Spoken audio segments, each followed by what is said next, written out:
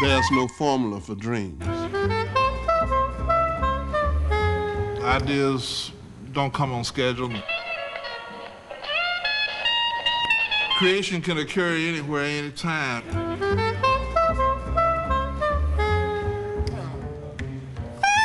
You must be prepared and equipped to handle it.